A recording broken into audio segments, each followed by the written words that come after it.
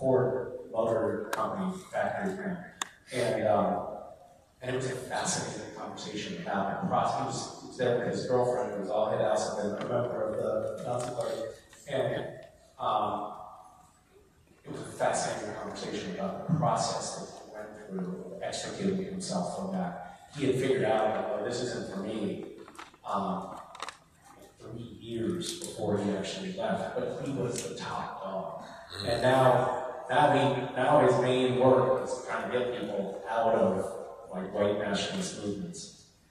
But uh, it was like it was like my whole world, my family, my business, all my friends, my social networks, everything centered around this. So for me to leave was like leaving a cult. I just couldn't, I couldn't bring myself to do it. Um, but the show was called Road Food, and he and I were standing on a sidewalk in front of an abandoned like car manufacturing plant, and it didn't fit in at all. So it didn't make it into the show. Um, but I would like to see that interview. Any, actually, that's a good idea. Thanks for that idea. I, I have total control of that. I could just get that and put out right here. But the next conversation.